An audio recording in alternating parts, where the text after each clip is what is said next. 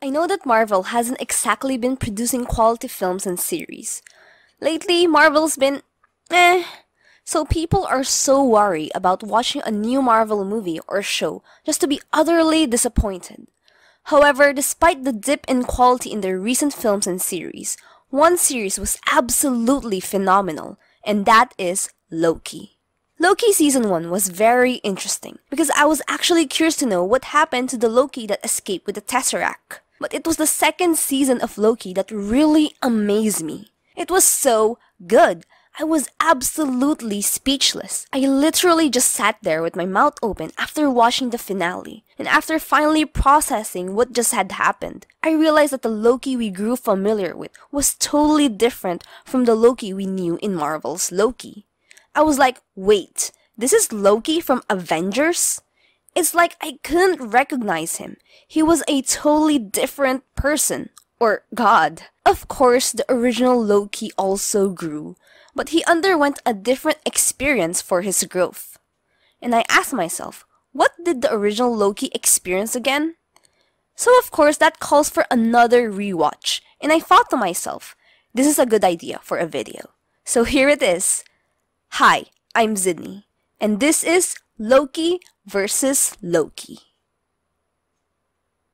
As I list down each milestone one Loki achieves, this is not me saying that one Loki is better than the other. This is just me listing down their commonalities and differences.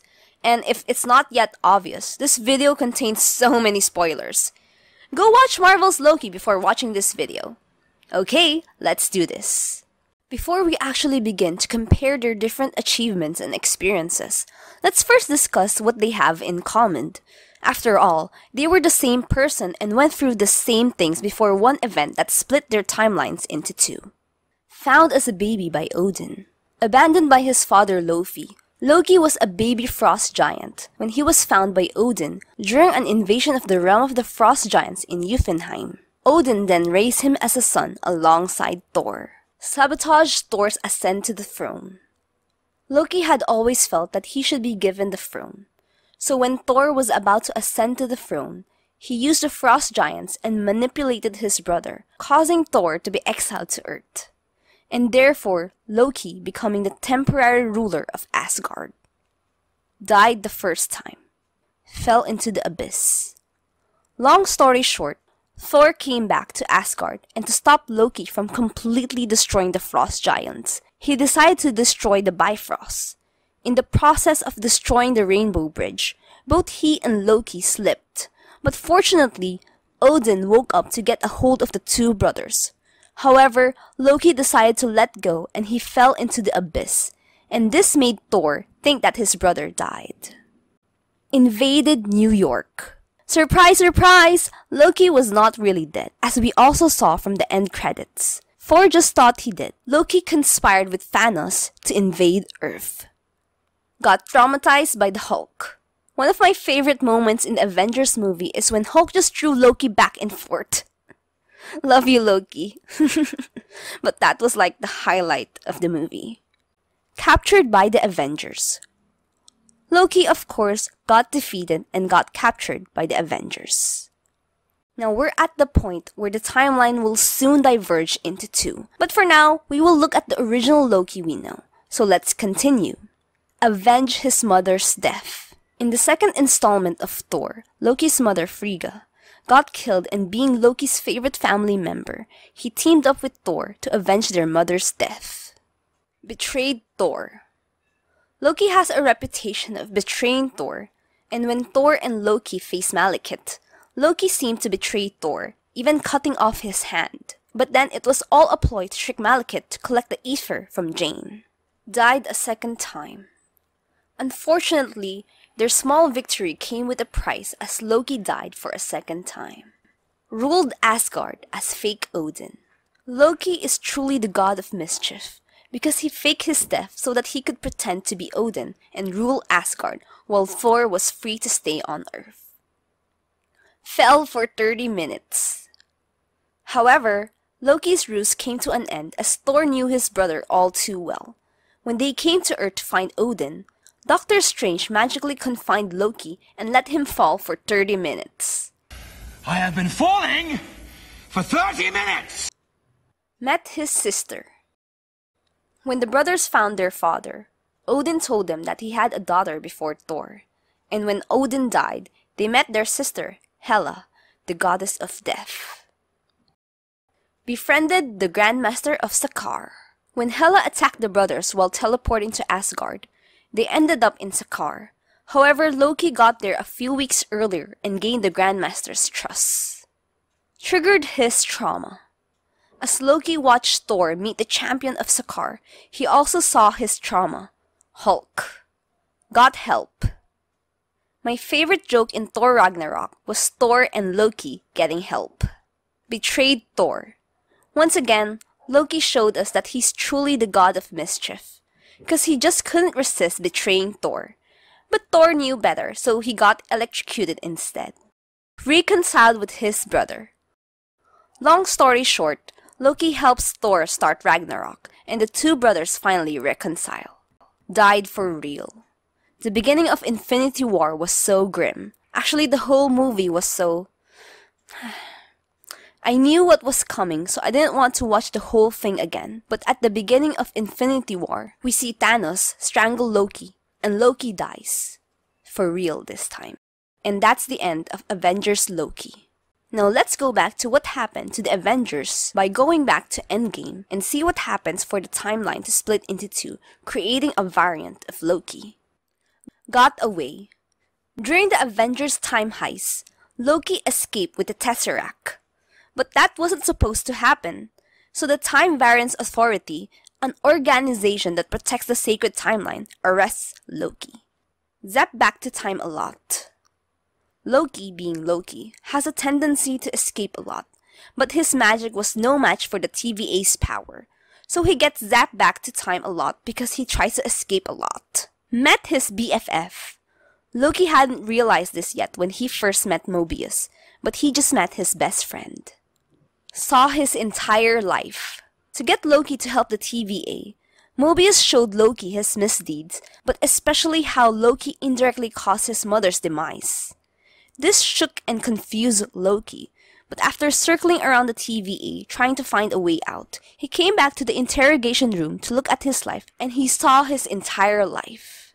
Worked with the TVA, in order to prevent getting pruned, and after learning that his life was eventually going to end anyway, Loki decided to help the TVA to find a variant Loki who keeps attacking the TVA's Minutemen.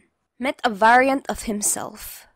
Loki finally meets the variant Loki who keeps disrupting the TVA's missions, and he finds that he is actually a she who named herself Sylvie. Fell in love with himself. After talking and fighting each other during an apocalypse, the two Lokis ended up falling for each other, causing a Nexus event. Learn the secrets of the TVA. Loki realized that the Timekeepers probably kidnapped the TVA agents when Sylvie told Loki that the TVA agents were also just variants. And when they arrive at the Timekeepers' chambers, they found out that they're just robots. Met other variants of himself. After discovering that the Timekeepers were just androids, Loki got pruned and ended up in the void where he meets other variants of himself. Met He Who Remains. At the Citadel at the end of time, Sylvie and Loki finally meet the true creator of the TVA and the true guardian of the sacred timeline, He Who Remains. And even though He Who Remains explained the possible outcome of killing him, Sylvie still decides to kill He Who Remains. Time slipped. And actually, before killing He Who Remains, Sylvie used He Who Remains Tempad to kick Loki back to the TVA. This caused Loki to begin to time slip, and Mobius described it as It's terrible. It looks like you're being born or dying or both at the same time. It's really, it's freaking me out. It's okay, it's okay. really Look, painful. It's not that bad. became a genius.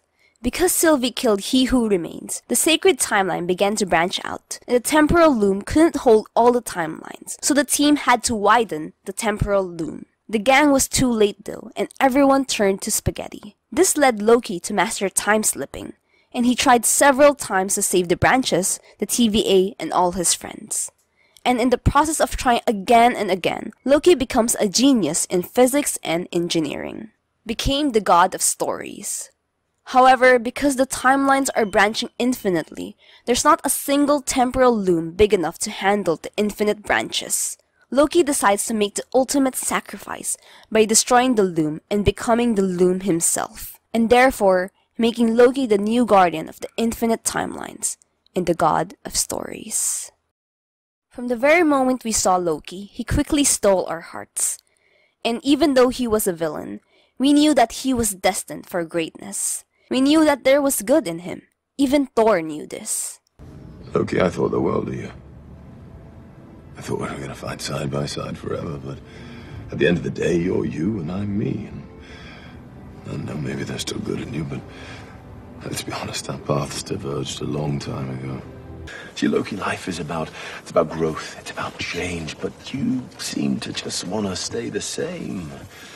I guess what I'm trying to say is that you'll always be the god of mischief, but you could be more. Plus, a major factor why we love Loki is because he's played by the very charming Tom Hiddleston. That's why I'm really glad that Marvel finally made a Loki centered story. I was really happy that we finally got to see Loki being on Thor's side in the original timeline. But in Marvel's Loki, they were able to give Loki the spotlight he deserved. In the first Thor movie, Loki said that he never wanted a throne. He only wanted to be Thor's equal. And at first, I never really understood what he meant because he kept lying and betraying others to sit on a throne. So maybe he really did want a throne. But then when he came to the TVA and met all of his friends, all of that power seemed insignificant. And how tragically ironic it was that when Loki finally resented a throne, he had to sit in one all by himself in order to keep his friends safe. Loki has truly come a long way. Thank you, Tom, for the 14 years of playing our mischievous but lovable god. For you. For all of us.